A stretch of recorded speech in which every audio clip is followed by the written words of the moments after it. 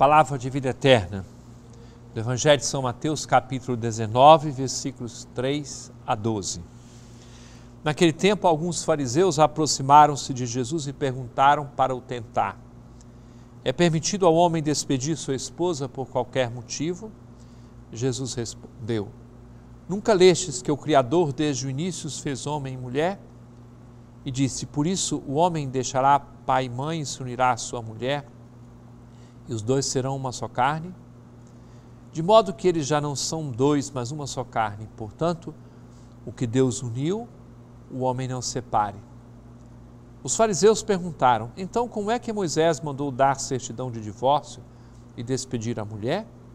Jesus respondeu: Moisés permitiu despedir a mulher por causa da dureza do vosso coração, mas não foi assim desde o início.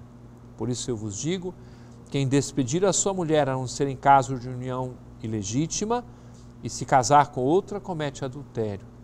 Os discípulos disseram a Jesus: Se a situação do homem com a mulher é assim, não vale a pena casar-se. Jesus respondeu: Nem todos são capazes de entender isso, a não ser aqueles a quem é concedido.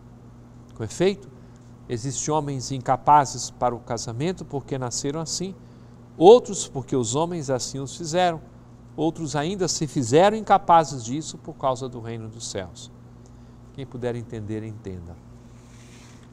É difícil entender o casamento fiel a vida inteirinha? É. É difícil entender o celibato, aqueles que, por causa do reino dos céus, não se casaram? Também é difícil entender. O ponto de partida é que você consiga enxergar as coisas através da fé que você tem em Deus. É possível um homem e uma mulher viverem a vida inteirinha juntos, na fidelidade, na entrega, na doação profunda da vida? É possível sim. Mas por acaso você ou qualquer pessoa tem no seu coração um amor do tamanho da eternidade para oferecer para sua esposa ou seu esposo? De forma alguma. Quem tem esse amor eterno é Deus. Então, quem bebe na fonte vai viver bem o seu matrimônio, se é chamado ao casamento, vai viver bem o seu celibato, a sua entrega a Deus, se é chamado a esta forma de consagração, vai viver bem.